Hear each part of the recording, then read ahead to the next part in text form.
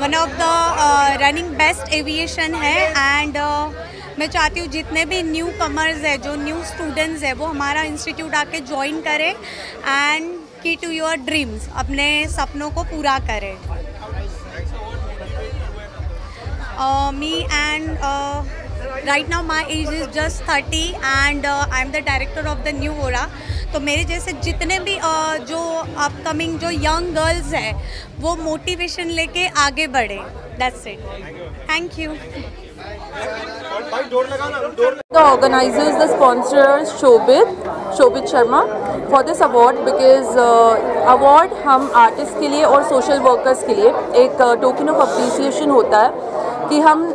और day by day और बेहतर काम करें। So thanks a lot to L O T and specially to Shobit thank you so much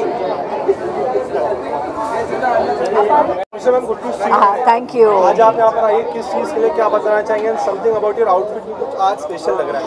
thank you आज uh, मेरा outfit एक डिज़ाइनर ने बनाया है स्मिता करके। एंड आज मुझे अवार्ड मिल रहा है for best astrologer and best tarot card reader so obviously मैं अवार्ड रिसीव करने आई हूँ। अगर बात करें बिग बॉस की जर्नी के बारे में आप और बिग बॉस के बारे में नाम तो वो हजम होगा मीडिया वालों को क्या कितना फॉलो करें इस बार का बिग बॉस? ऑब्वियसली फॉलो करिए हमारी बेस्ट फ्रेंड अंदर है Sara so we are supporting her totally Shilpa ji is also friend but Sara तो हमारी बहुत क्लोज है। कितना फॉलो करें इस बार बिग बॉस आप? प्रॉपर फॉलो कर। रही हूँ इस बार अविनाश और दिग्विजय के बीच में जो एक हादसा देखा गया जी। तो अविनाश का धक्का काफ़ी ज़ोर से लगा दिग्विजय को। इसको लेकर आप क्या कहते हैं कितना राइट था और कितना लीगल था बिग बॉस के अंदर? ऑफ़ कोर्स इट्स रॉन्ग हमारे सीज़न में भी वायलेंस अलाउड नहीं था। जब विशाल और अरमान का वो इंसिडेंट हुआ था तो एक्शन लिया गया था। तो आई मीन जहाँ तक मैंने टीवी में जो दिखाया गया था कि अविनाश ने पहले दिग्विजय को धक्का दिया तो जाके दिग्विजय का रिएक्शन आया। सो आई थिंक दैट या there should be some proper action against this Who do you think is a deserving candidate for the winner in this season of Big Boss? Shilpa Shirodkar And is the reason? What do you she is very balanced बहुत balanced है अच्छा vibe देती है वो मतलब वो किसी भी चीज़ अपने स्वार्थ के लिए नहीं करती है अगर मेरे फेवरेट कंटेस्टेंट की मैं सारा के अलावा बात करूँ it would have to be Shilpa ji you thank you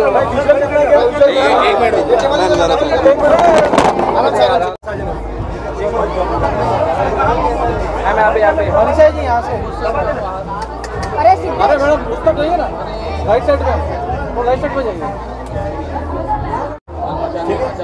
thank you ma'am चलो धन्यवाद also I was a chief guest uh, Trishul the Divine मेरे heart से बहुत close है it's very close to my heart because six years back I was uh, one of the a model who was walking the ramp behind a showstopper so yeah uh, it is something very close and today I've come here as a chief guest it's an achievement and all thanks to uh, Shobit and uh, that's all all the best thank you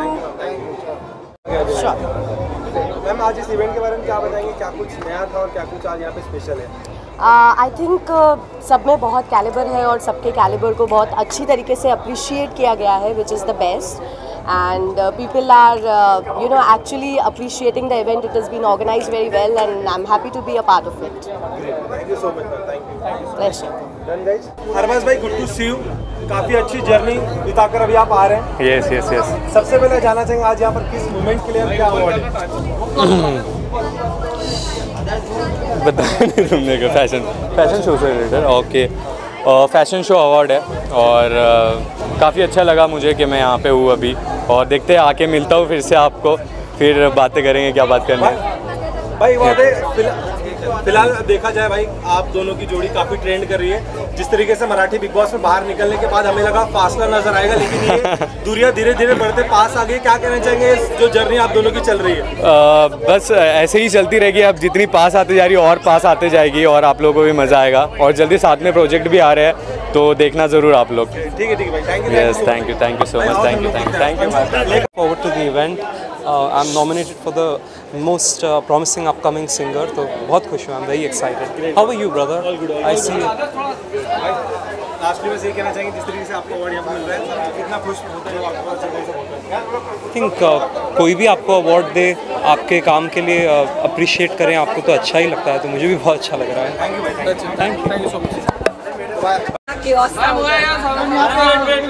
That's it.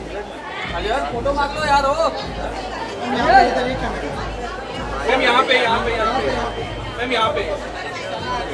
Ma'am यहाँ पे देखिए।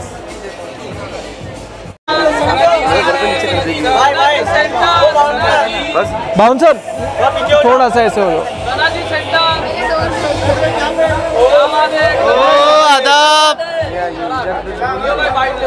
सना जी इधर तो देखो left में। Ma'am ma'am Sana ji Sana ji award award उल्टा है। सना ji award उल्टा है हाँ। ऐसे दिखाओ सामने। चलो white white white white roll करो रोल करो। रोल है रोल है चलो लो। रोल हाथ आगे रखो भाई। बॉडी पीछे। रोल रोल सो मैम सबसे पहले आपको कांग्रेचुलेशंस अवार्ड के लिए क्या कहना चाहेंगे आज की शाम के लिए? बहुत शुक्रिया। बहुत ज़्यादा खुश हूँ और ये निकाह के बाद मेरा पहला अवार्ड है। सो आई थिंक लक बरस रही है। ऊपर वाले की तरफ़ से बहुत सारी इनायत बरस रही है। आप लोगों की दुआएँ तो बहुत ज़्यादा अच्छा लग रहा है। और ऐसे ही प्यार और दुआएँ बरसाते रहे। जी। मैम रिसेंटली आपने अपनी लाइफ की सेकंड जर्नी स्टार्ट की है यू गॉट मैरिड एंड आपने अपने हस्बैंड के साथ फ़र्स्ट उम्रा भी किया उसके बारे में क्या कहना चाहेंगे आप? जी माशाल्लाह ये मेरा निका और उम्रा साथ में था तो ये बहुत आला दर्जे की चीज़ हो गई मेरे लिए। और जैसा तस्वुर किया था उसी तरीके से हुआ so I feel really blessed अभी रुखसती इंशाल्लाह अगले महीने है तो आप सबको शरीक होना है मैं आप सबको दावत दूँगी अलग निकाह के लिए आपने मदीना कोई क्यों चुना? निकाह के लिए मदीना को इसीलिए चुना क्योंकि बहुत पाकिज़ा जगह है और मुझे बहुत सादगी से करना था। और इस वजह से मैंने ये चुना और कहते ना, उस, वहाँ पर उन्हीं का बुलावा आता है जो जिसको ऊपर वाला चुनता है। तो मुझे कहीं ना कहीं लगता है कि ऊपर वाले ने मुझे चुना और शायद मेरी नीयत साफ़ थी। I think it's all about नीयत। जब आपकी नीयत साफ़ होती है तो ऊपर वाला रास्ता आपके लिए आसान कर देता है।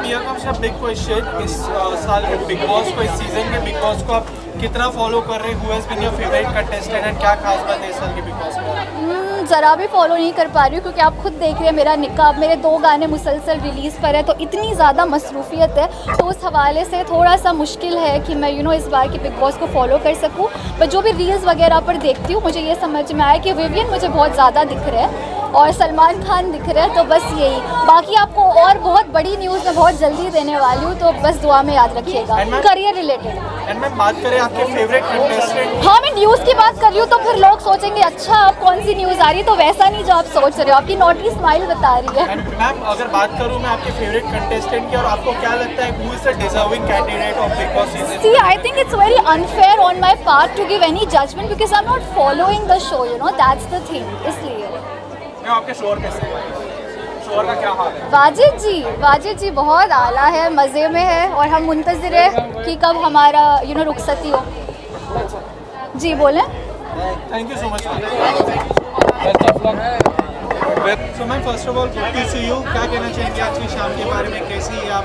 कुछ अपडेट आपको मैं ठीक हूँ। मुझे पता है मेरे फैंस नाराज़ रहते हैं मुझसे क्योंकि मैं पब्लिक अपीयरेंसेस ऐसे बहुत कम करती हूँ but that's because I am travelling all the time I am very happy that I am here for this event today lord of trends achievers award मुझे अवार्ड मिल रहा है तो मुझे खुशी है और कॉन्ग्रेचुलेशन टू एवरीबडी रिसेंटली एक वन ऑफ़ द आर्टिकल्स में ये पढ़ा गया था कि there has been many movies have been offered to you but because of आपका एक रीज़न था कि बहुत सारे मी टू अक्यूज वाले लोग थे उसमें से आई एम नॉट डूइंग तो क्या कहना चाहेंगे इस बारे में? हाँ लोग तो मेरे पीछे पड़े ही हैं काफ़ी टाइम से 2018 के बाद से।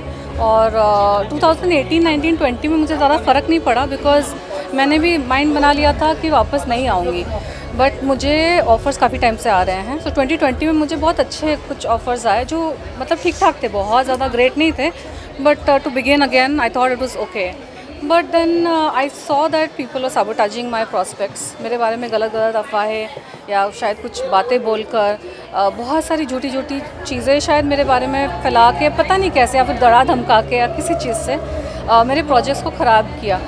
But you know I believe sometimes you feel very bad when things don't go what you are expecting but every cloud has a silver lining. और मुझे लगता है कि uh, कोई इंसान कोई दुश्मन इतना शक्तिशाली नहीं हो सकता कि मेरे uh, मेरे डेस्टिनी को डिसाइड करें। तो वो फ़िल्में शायद नहीं होनी थी और उतनी ग्रेट नहीं थी वैसे भी। अच्छा होगा कुछ और बेटर होगा। जैसे आपने बात की कि बहुत सारे प्रोजेक्ट्स आपको ऑफ़र भी रिसेंट है। सो कोई ऐसा एक्टर या कोई ऐसा स्टार जिसके आपको ऑफ़र हुई थी वो इस वक्त बहुत I don't want to talk about those projects only क्योंकि अगर किसी ने दुश्मनों की बात सुनकर या किसी नेगेटिव इंसान की बात सुनकर उन्होंने uh, अच्छा बाय द वे मुझे पता भी नहीं उन प्रोजेक्ट्स का क्या हुआ। हो हो सकता है रुकी हुई है। बाद में अपनी इंडियन पब्लिक कैसी है ना? उनको लगता है कि नहीं नहीं वी वॉन्ट वर्क विथ हाँ will just wait for all this to pass so हो भी सकता है। तो मैं कमेंट नहीं करना चाहूँगी। अगर किसी ने किसी की बात सुनकर प्रोजेक्ट मेरा स्क्रैप किया है तो मैं क्यों उनको उनके बारे में मीडिया में बात करूँ? If we speak about movies का तो खैर ठीक है। अगर हम रियलिटी शोज़ की तरफ़ बात करें there has been many actors who switch to T V doing reality shows and nowadays reality shows को भी काफ़ी ज़्यादा बूम मिल जाता है। तो कभी आपके दिमाग में ऐसा आया है कि okay let switch to T V और let's go for reality shows जैसे बिग बॉस है इंडियाज लाफ्टर शेफ है, ऐसे बहुत सारे शोज़ है you know who get massive popularity and वो तरफ़ बहुत सारे मिलियंस ऑफ़ पीपल वॉच तो व्हाट अबाउट बिग बॉस मुझे, मैं किसी रियलिटी शो का स्पेसिफिक मैं ज़िक्र नहीं करूँगी बट सारे रियलिटी शोज़ के मुझे ऑफ़र आ चुके हैं।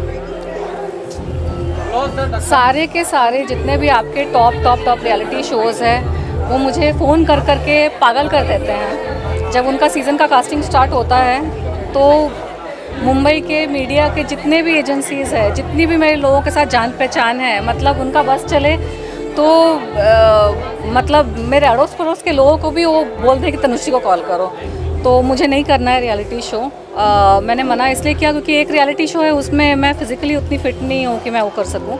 और एक रियलिटी शो है कि मैं मेरा माइंड मतलब मैं योगा मेडिटेशन करके ना अब तक काफ़ी सुकून में आ गई हूँ। मुझे उस रियलिटी शो में जाके अपने दिमाग का दही नहीं करना है। तो मुझे उतनी कंट्रोवर्सी चाहिए ही नहीं लाइफ में। और टीवी के ऑफर्स हमेशा से आते हैं। It's just a matter of time कि क्या करना है मुझे। एंड वन लास्ट क्वेश्चन कि if ever you got chance अगर आपको बिग बॉस से ऑफ़र आता तो आपका जवाब क्या होगा? And at lastly one last message to your friends इस जवाब के I will never do a reality show like that it's not my personality मुझे ना कंट्रोवर्सी की ज़रूरत है ना मुझे टीआरपी की ज़रूरत है मुझे किसी चीज़ की ज़रूरत नहीं है। uh, मैं बाकी पार्टिसिपेंट्स ऐसा नहीं बोल रही हूँ कि इट्स अ बैड थिंग इंसान की अपनी अपनी ज़रूरत होती है मेरी को ऐसी कोई ज़रूरत नहीं है। कि मुझे उस तरह की जगह में जाके, जहाँ पे कोई भी मेरी बेइज्जती कर सकता है, कोई भी मेरे मुँह पे कुछ भी बोल सकता है। इतने इतने साल योगा मेडिटेशन और आध्यात्म से जुड़ने का फ़ायदा तो कुछ होना चाहिए ना, कि दिमाग में बुद्धि होनी चाहिए मेरे। कि आपको जब दिख रहा है दलदल है सामने, आप क्यों जाके उस दलदल में आप गिरोगे, फिर लपोटोगे अपने आप को, फिर बोलोगे, सारे स्वर लोग मिलके मेरे को टॉर्चर कर रहे हैं। उस तरह की जगहों में ऐसी चीज़ें होती हैं, मुझे नहीं जाना है। With due respect to everybody with due respect to 90% of the people there, I'm not interested. Okay, and one lastly, any special message to your fans out there? Since Aashiq Banaya Aapne का तो कहते ना एक ज़माना था उस गाने की फ़ैन फॉलोइंग तो कुछ नेक्स्ट लेवल की आजकल तो वैसे गाने बनते नहीं हैं। उसके बारे में आई एम वेरी हैप्पी कि मेरा जो आशिक बनाया गाना है वो कितना 300, 400, 500 मिलियन व्यूज़ क्रॉस हो चुका है यूट्यूब uh, पर। और मुझे लगता है कि आज के जनरेशन के बहुत कम एक्टर्स एंड एक्ट्रेसेस होंगे जिनके किसी फ़िल्म या गाने को इतनी पॉपुलैरिटी मिली है। तो आई एम वेरी हैप्पी वो फ़िल्म उस फ़िल्म ने मुझे सब कुछ दिया। Of course I became a star because of that film और to be very honest I think I should do more work thank you very much for keeping me relevant all the time all these years and supporting me in uh, everything you know my social impact movements. And everything uh, i am what i am because of you guys and thank you so much Thank you, thank you so much, ma'am, for your time. It's been lovely.